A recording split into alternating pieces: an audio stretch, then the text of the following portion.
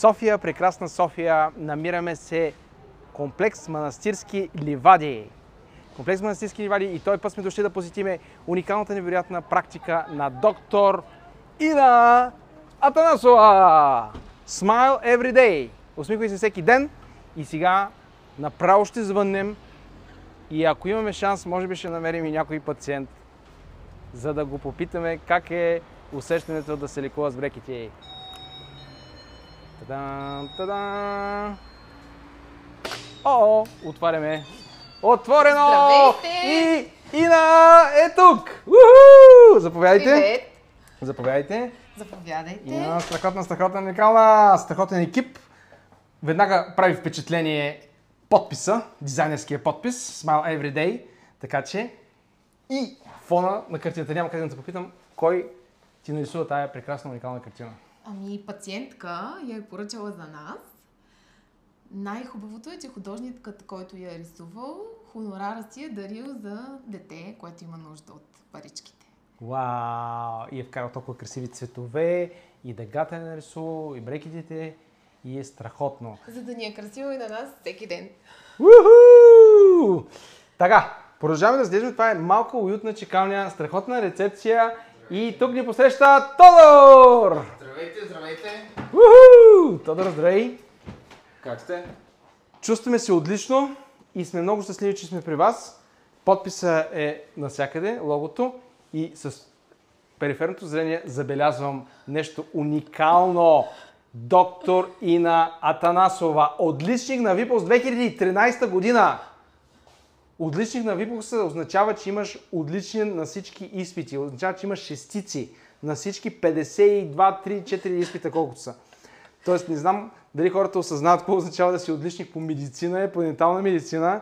Означава геройство, означава, че тук до нас стои един гений и това е много важно да се има предвид и да се цени, защото по принцип в цял свят това е супер, супер. А, България не знам какви а, практически облаги ти е донесло това, че си била отличник на випуска. Ами, не особени, но душевно удовлетворение със сигурност. Уникално, уникално. Това е феноменално. Сега, виждаме в долния ъгъл шарш. Просто трябва да те попитам, кой ти го нарисува този шарш, какво точно представлява на него. Ами, това е карикатура, подарена ни пак от пациентка в финала на ортодонското и лечение. Обичат те от- пациентите тебе. Една Обичат от те. стотиците ни любими пациентки, Иглика, много ще се зарадва, като каже, че е от нея. А, това е тя, костенурката, с блестящата си нова усмивка. А тук са домашните ми любимци с брекетите. С брекети. Тъй като по време на ортодонските лечения ние се срещаме с пациентите година-две и си ставаме едно семейство, те знаят какви домашни любимци съм имала и така нататък и ме зарадва много на финала. Ти обичаш и да споделяш и като човек си много, как да кажа, отворена към това да, да, да си не просто, а, как да кажа, пациент-доктор. Тая дистанция не знам поне как е при вас практиката, обаче моето усещане е, че ти си едно тук семейство, сякаш един Ами така си ставаме. Особено с ортодонските пациенти, които не ги виждаме веднъж или два пъти, ами години, година-две и после не се разделяме за винаги с тях, ами те остават пациенти на практиката. Особено като сме спечелили доверието им и се срещаме години наред. Супер. Супер. И сега, намираме се тук. Имаме, виждам, два кабинета. Да, Тук е единия кабинет, в който има ли разделение на дейностите? В смисъл, тук да кажеш ортодонцията, там е един, а, другата част ендодонтия или други неща, които практикуваш? не настаняваме пациентите.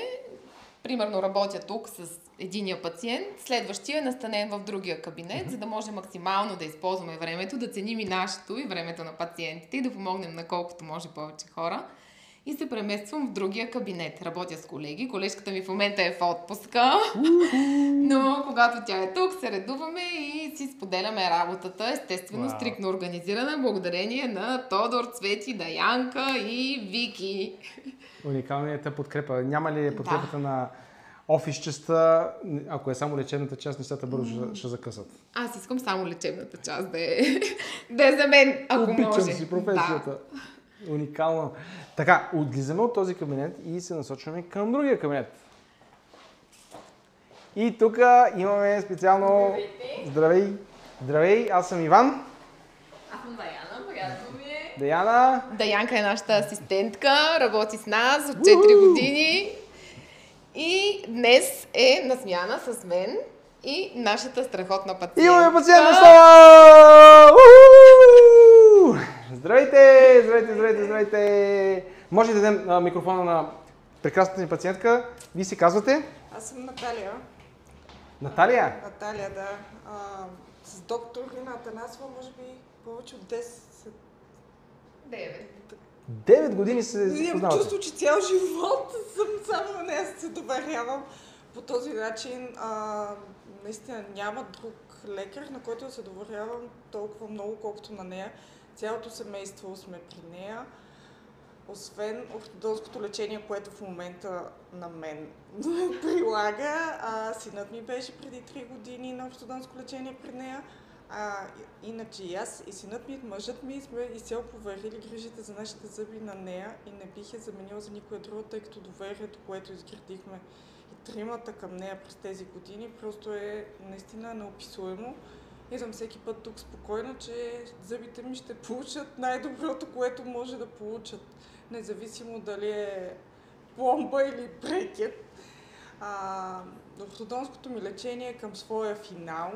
Принцип съм много недоверчива и още с а, избора ми на лечение за синът ми бях, а, въпреки че тя се грижи за другите неща по зъбите, исках да проверя и други ортодонти какво ще ми предложат като варианти, като лечения. А, мненията бяха различни, но аз се спрях на това, което предложи доктор Атанасова. А, водена от вътрешното ми чувство и доверието, което вече беше изградила и не съжалявам. След като видях резултата, който беше при синът ми, веднага се реших и аз да премина през това изживяване. Също не съжалявам, на финала съм и чакам с нетърпение да видя финалния резултат, който ще се получи. Наталия, супер ти благодаря за това споделяне. Искам да те попитам, искам да те попитам, защото беше наистина много искрено. Това да вземеш решение, да направиш нещо за детето си, да вземеш решение и след това и за себе си да направиш лечение, което да, да, да възстанови проблемите, да захапката, подредбата на зъбите, след това ще има и възстановяване, което ще е с композит, ще има избелване, въобще не сте на, а, вижте на финала на ортодонската част, но, но след това има още много интересни неща предстоят, изпипвания, а, които за щастие ще се случват по-бързо във времето, няма да са една-две години. А, но за мен е супер интересно да те попитам, когато взимаш решение, особено такова важно решение, а, кой е твой критерий? Тоест, когато, а, когато решаваш, особено, ето, искаш детето ти да има лечение, има, това е София. София е пълно с заболекари, с специалисти.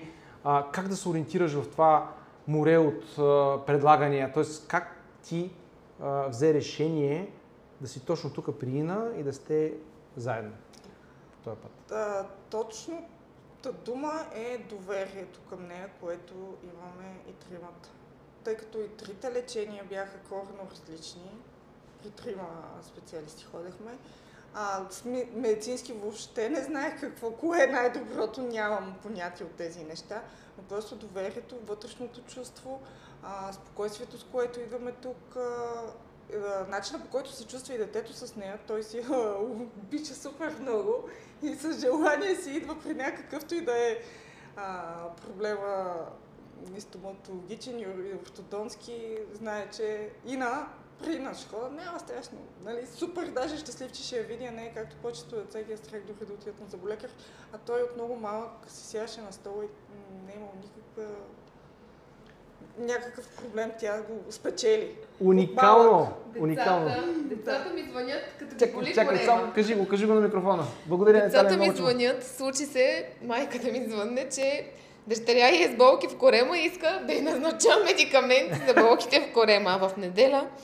са звънали на Тошко да го помолят за изгоряло кръче, какво може да предложим. Тоест, като влезеш под кожата на едно дете И да, печелиш, За то, винаги. ти ставаш неговия доктор за всичко. Макар че аз не съм компетентна в другите области, децата разчитат, ако можеш да помогнеш, спечелиш ли им доверието, ставаш неговия лекуващ лекар.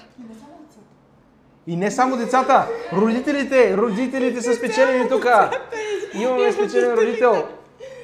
А, а, а също това е също много интересно. Благодаря ти, защото много истински споделяш и, а, и, и според мен ще е много ценно да ти, ти сподели това, което аз чух, че буквално медицински нямаш критерии, по които да разбереш този или този или този, но тук имаме доверие, ценност, много важна ценност, т.е.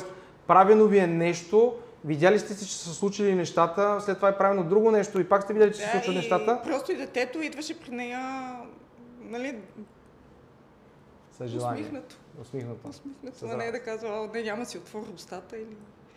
А, обаче съм сигурен, че освен, а, а, освен как да кажа, а, доверието, което Ина е а, изградила във вас, със сигурност, примерно във вашето лечение, имате много ясен план на лечение или и това неясно ли е самата Абсолютно цялата процедура? всичко беше, още преди да започна плана ми беше казан кога какво ще се случи. А, също знам какво ще ми се случи след като ми бъдат махнати другата седмица брекети. Уху! Да се замахвам бреките! Brace yourself! Brace Че yourself! очаква точно няколко неща. А, всичко е... Часовете са записани, ясни, всичко е точно, няма...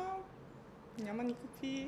Това, което виждам аз е радост. Първо виждам радост, виждам а, доволен човек, човек, който е взел решение, извървял е пътя и, и се радва, че го е направил.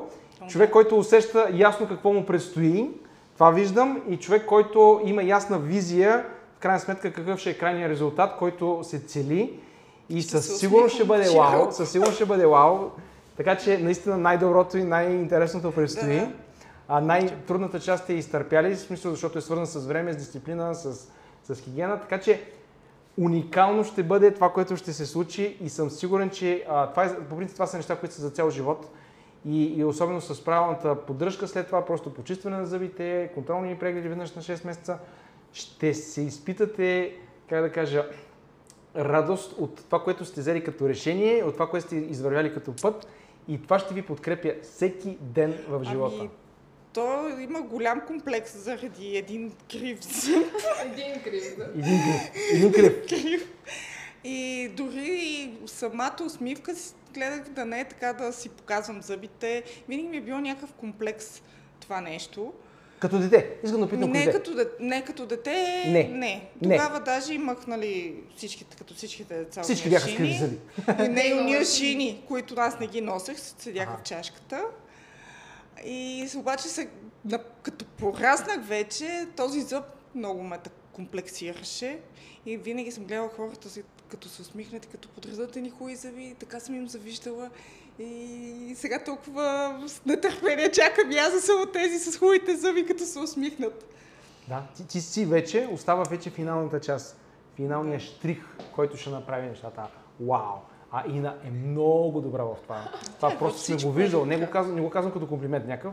Ние, а, също имаме критерии.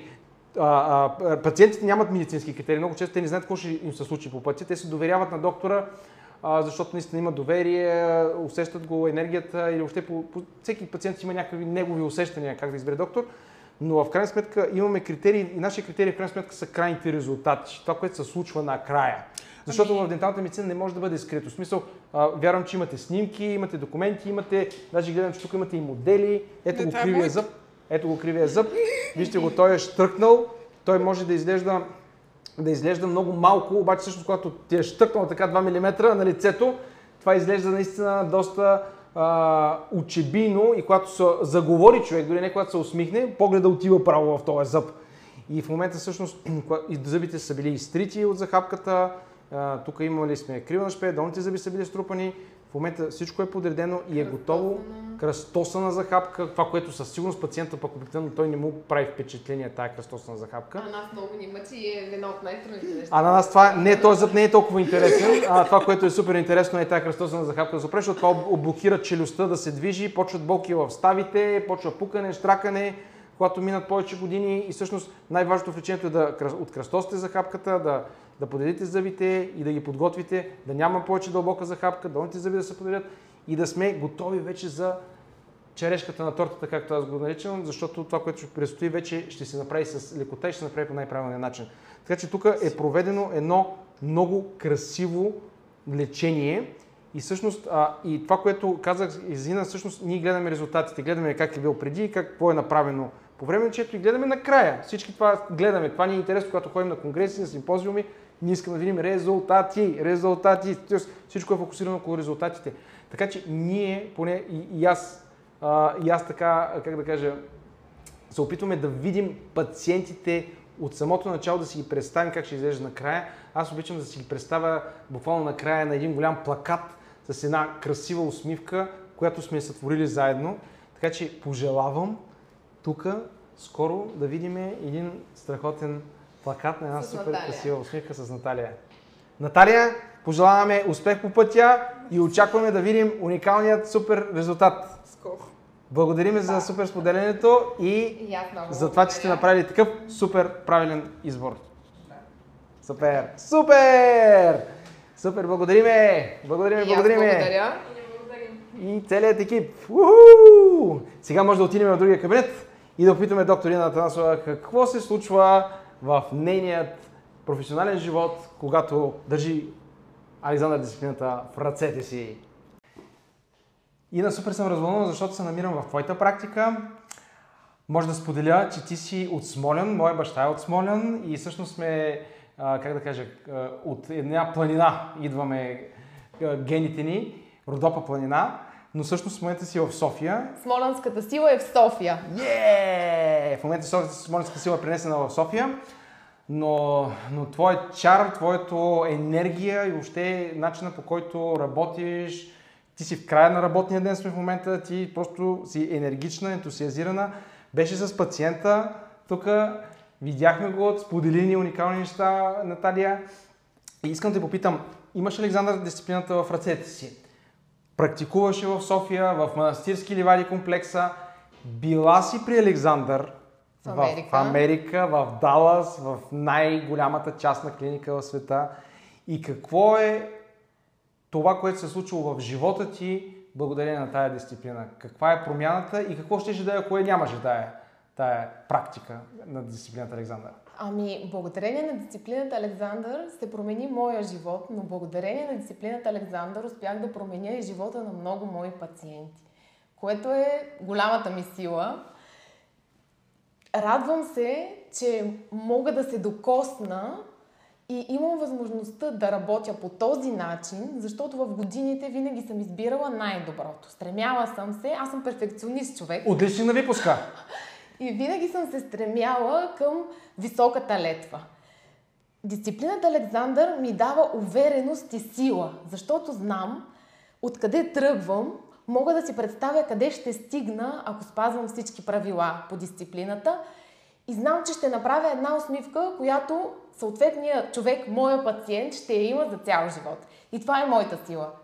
Уникално. Това е, както казва Александър, outstanding.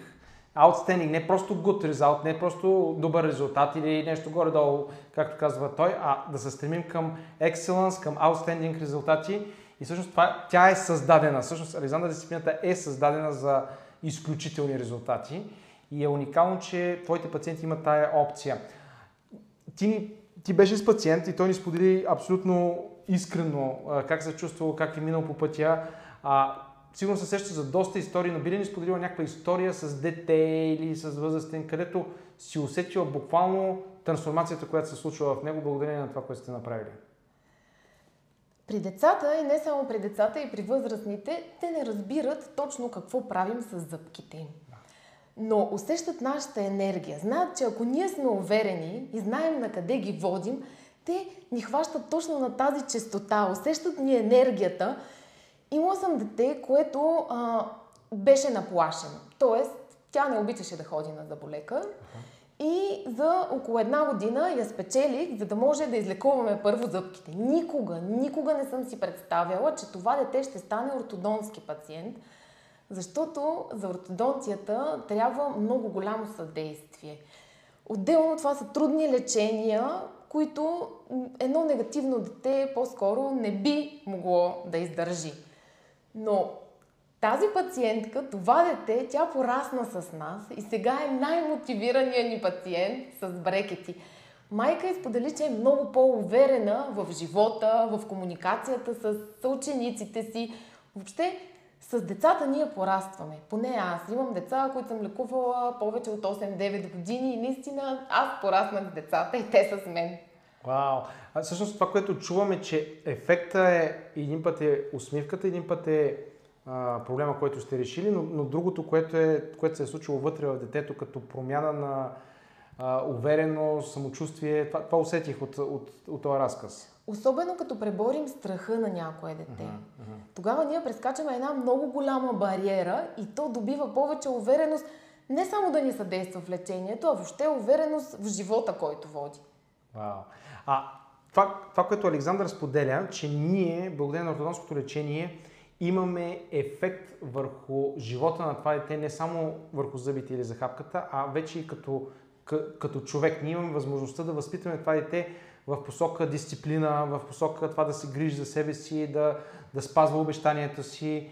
А, тая част, ти си била и при Александър. Смисъл, може да ни споделиш малко от това нещо, защото доста хора бяха при Александър. Мисля, че над 40 човека бяха, а, не наведнъж, разбира се, през различните години, но ти си го видяла на практика как се случва тук и в момента какво си взе пък директно от извора, което тук пренасяш към своите пациенти. Това е супер интересно.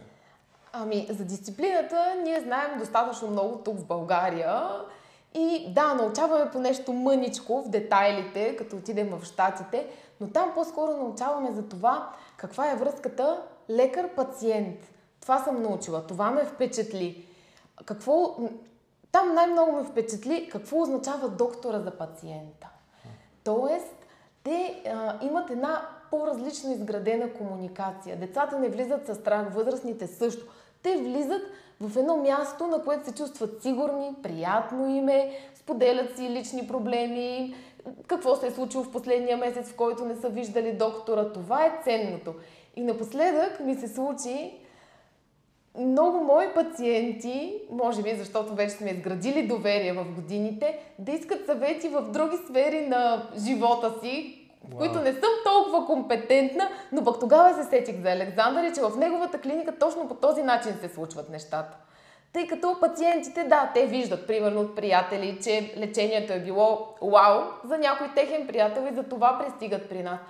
Но ние се срещаме с тези хора година, две, с някои три при по-тежките лечения и буквално ставаме част от техния живот, както и те от нашия. Тоест не само ние сме част от живота им, не само ние сме тяхното чудо в живота им, ами и те от нашия, защото аз също се вълнувам от техните истории, те идват всеки ден, споделят и това са за мен пациентите. Едно голямо семейство.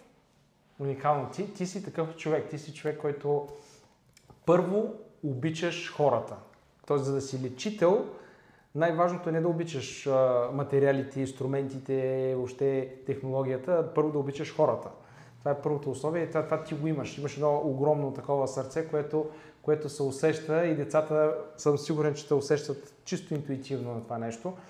А, аз ще те попитам, защото си пак си видяла в Штатите и това, което там си видяла като здравина на зъбите. В смисъл видяла си тинейджери възрастни а, с подредени здрави зъби, а, и това, което виждаш в България като реалност. Тоест, кой е пътя, който според тебе има да се извърви тук, специално българския пациент, за да достигне това ниво на, на превенция, да го нарека, и на... Искам да го споделиш това, защото вярвам, че ще го видяла като разлика. При нас в България това е голямата болка. Болката е, че децата в много ранна възраст имат много кариеси в устата. Имат пулпити, кариеси на постоянни зъби, което в днешно време, в времената, в които имаме достъп до всякакви всевъзможни средства на световни ниво за орална хигиена, според мен е престъпление да го има. Предвид, че в Штатите децата почти нямаха кариеси, зъбите им бяха здрави, те се хранят с много вредна храна, да. имат ужасно много вредни навици, които не са решили на време повечето но пък са дисциплинирани за орална хигиена и посещават редовно своя заболекар. Не когато имат болка, а за да се почистят зъбите и за да се, за да се извърши една превенция. Тоест, те се грижат за здравето си, а не за болката си. Това беше разликата в щатите и разликата с нашите пациенти, но ние ще работим и нашите пациенти да бъдат с здрави зъби, да ги мотивираме да идват при нас не защото имат кариес, а защото искат да нямат кариес. Или както обичам да, се, да казвам, да плащат за да са здрави, а не да плащат когато имат проблем и да се разболеят и да почнат да се чуят как да си възстановят загубеното. Това е превенцията. Всъщност плащаш за да си здрав и то плащаш много малко и отделяш много по-малко ресурс, защото когато имаш проблем, вече първо отделяш много време, енергия, има болка, страдание, пари, бюджети, колкото е по-голям проблема, толкова са повече пари върват за, за леченията. И всъщност най-хубавото и това, което и мен лично много ме вдъхнови в щатите е нивото на превенция, което видях. И всъщност тая клауза, че в България, ако детето го заболят зъбите, аз ще отида на зъболекар и дори здравната каса дори може да ми плати и всичко ще се оправи. Всъщност това не е работещ модел, защото а, дори някой да ти плати, дори да се направи, то не е това, което е било. Не е истинския здрав зъб. Именно за това аз никога не съм работила по здравната каса и колкото и да ми беше трудно, както казахте, аз съм от Смолян, нямам родители за болекари, не съм имала финансова подкрепа от родители сама, успях да стигна до тук, само защото исках да дам друго ниво на лечение за моите Друг пациенти. стандарт. Да. И хората го оценяват, те го търсят. Само в главата на нас, на заболекарите, е, че те няма да платят за едно качествено лечение. Напротив, и ние трябва да ги научиме да ценят здравето си. Защото в миналото, според мен, поне в моето време, аз самата съм имала много проблеми с зъбките. Ние мислихме, че на заболекар се ходи, ако имаш кариес или ако те боли зъб. Не бива да е така. И ние сме хората, които трябва да го променим като вярване и мислене за нашите пациенти. Аз съм горда, като видя някое дете, което е имал 10 кариеса на млечни зъби и след 5 години вече е с постоянно със зъби и няма нито един. Тогава съм горда. Не съм горда и не се радвам, като дойде при мен дете, за да му направя една пломба. Това всички го може. Това е, а, пломбата е успех за възстановителната дентална медицина, но това е провал за превенцията, Да. За превентивната дентална медицина. И аз всъщност дори не знам дали пациентите осъзнават, че ето, примерно, ти си в един комплекс, тук има хиляди хора, десетки хиляди хора живеят тук. Ти се намираш под кооперация, която над тебе сигурно има супер много семейства, деца, 48 апартамента. 48 апартамента и в блока си, долу в първия етаж, имаш супер високо ниво на превенция, на лечение. Имаш уникален заболекар всъщност. И ти просто трябва да слезеш или да си запишеш час и, и, да, и всъщност имаш опцията детето ти, абсолютно, детето ти да израсне с абсолютно здрави зъби, без нито един развален зъб. Просто ако има редовни посещения при заболекара за превенция, правилни навици за хигиена, които се учат при заболекара всъщност, то трябва да му покаже как се прави това. Родителите знаят какво да направят на детето си, когато е малко. И също имаше опцията, тя е пред очите ти, тя е в блока ти. Това в София е много специфично. То не, не е в някакъв град, де трябва да пътуваш до другия край на България. Той е в блока ти и просто и съм сигурен обаче, че ако прегледаме всички тия 48 семейства, а, няма да видим това, което видяхме в Далас. Няма да видим тия супер здрави, перфектни зъби, а, на, запазени, наредени. А, аз ще го вмъкна, вмъкна тук, защото казахме здравната каса. А, аз попитах там какви са, там не е каса, там се нарича друго. И всъщност Застрахователни. застрахователните дружества обаче там те плащат, това, което казах, плащат за да са здрави хората. И всъщност системата плащаше 1300 долара, за да може майката, бащата и детето да посетят заболекаря и денталния хигиенист 13 пъти, 13 пъти, повтарям 13 пъти, докато детето стане на 3 години. Не на 13 години. Тоест, докато детето стане на една, две, три години, те посещават родителите заболекаря и хигиениста 13 пъти. Ако това го кажем на някой български пациент, че трябва да заведе детето си на 3 години 13 пъти, т.е. да го заведе на 6 месеца, на една година, на година и половина, на 2 години, на 2 години и половина, на 3 години. И тук въпросът ще бъде, ама защо? Него не го болят зъбите, той си ги мие вкъщи. Ами, за да научи заболекаря родителите как да мият зъбите на детето, което е на 6 месеца и зъбите току-що са му поникнали, да покаже на родителите как да четкат тия новопоникнали зъби. За да може като му изникнат още 4 зъба, да му покаже как да ги мие на една година тия зъби. За да може в един момент да му покаже дори конеца зъби как да ползва това дете. Или по-скоро как родителите да мият зъбите на детето. Така че това е а, огромната Болка. болка и отговорност на заболекарите. В смисъл на всички заболекари да кауза номер едно да бъде превенцията и вече съответно и лечението, когато има казуси. И а, това ти благодаря, исках да го изговорим, защото това е... А, някой път аз го разправям, но ти си била там също и си го видяла с очите си. Както казва Александър, не си спомням от кога не съм виждал развален шести зъб. Аз бих казал, че ако отвориме устите на нашите тинейджери, почти няма да видим тинейджър, който да е с здрави шести зъби. Ще има поне един кариес на шестия зъб. Особено новите пациенти, да. Иначе имам ужасно много примери за деца с кариес на ранното детство, дечица, които са били само на корени на предните зъби, възстановили сме ги, спечелили сме им доверието в годините. Към днешна дата са тинейджери 6, 7, 8 класи, нямат нито един кариес в устата. Това е така че развенчаваме мита. Това не е унаследен ген, както мислят родителите. Това е грижа. Да. Не е унаследен ген. Не, дядо му беше така, баща му е така и той ще е така. Със сигурност някои емайли са по-устойчиви, знаеме слюнката да. има значение и така нататък. Само, че има много модни икони, които на 70 години изглеждат перфектно. Едва ли техните родители са изглеждали така? Това не е от гена, е от грижата. И ако нашите пациенти ги научим да се грижат по правилния начин, смятам, че сме в правилната посока. Аз мисля, че това е което и пациента трябва да търси. Номер едно нещо, което трябва да търси във всяка дентална практика е грижата за хигиената и за превенцията. Тоест дали докторите имат фокус в тая посока. А, защото се сещам за една невероятна фраза на професор Ленар Тибец, който каза научи първо пациентите да си мият зъбите и тогава прави каквото и да е лечение. Това е доктор Тибец, който е съседната клиника на доктор Александър. Той каза, ако не си научил пациента да си мие добре зъбите и ти му направиш нещо, всичко е обречено на провал. Провал. Така че това е, мисля, че най-важната мисъл в денталната медицина. И на връщам разговора в Александър дисциплината отново. Ти си срещнала и лично Александър, и всъщност и доктор Муди, който, който мисли колко, три седмици ли бяхте? Три? Три, ми, две седмици. Две седмици. Да. Две седмици е доста в тази клиника, защото на ден минават по 100 човека. А, и всъщност, кое е за тебе, защото то си личи, че ти живееш с идеята за това. Личи си, че си тук, защото обичаш хората, обичаш пациентите да получат най-доброто, имаш стремеж за съвършенство, за съвършенството няма граници, за съвършенството е стремеж, то е една цел, която е непостижима, но ние трябва да се стремим към това нещо и ти си там.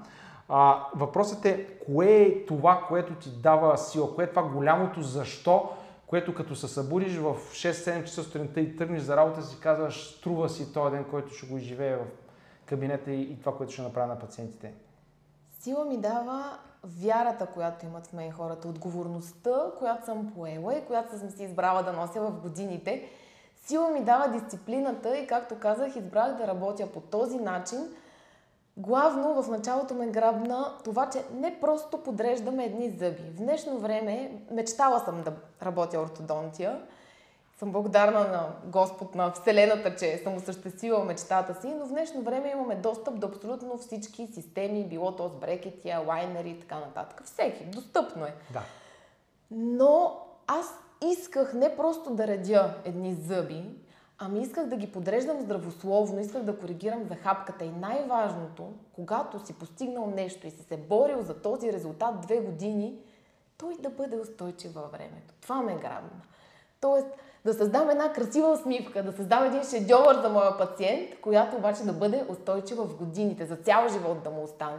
Защото всеки ден идват при нас пациенти, преди да работя ортодонтия съм виждала, които са имали хубава усмивка, но тя е била за кратко. Аз това нещо не го исках, затова избрах да работя с дисциплината Александър. За да бъдат, да съм оправдала това доверие, което са гласували моите пациенти, това, че са ми повярвали в годините и благодарение на тях съм стигнала до тук. Вау.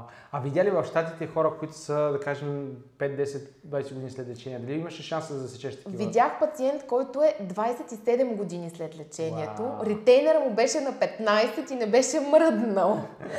И той беше супер вау. Дори не си беше възстановил един зъб, т.е. имаше липсващ зъб, който е останал липсващ. Но когато са правили лечението, а, доктор Муди каза, че е знаел, че вероятно няма да го възстанови, т.е. усетил го е като енергия И всичко беше прекрасно. Пародонта му беше в добро състояние, всичко. Той беше дошъл на контрола и ни разказа най-чисто сърдечно как е протекло неговото лечение и след колко години се връща отново в клиниката за контролите.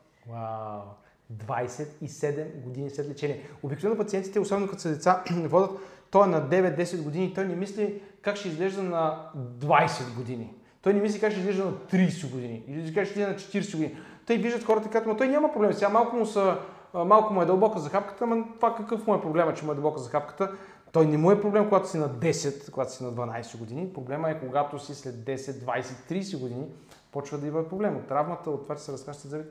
Но тая дългосрочна идея на Александър, която той залага във всичките си учебници, статии и в, в, в всичкото си наследство, което е дал на света, тая дългосрочна идея е много вдъхновяваща, наистина.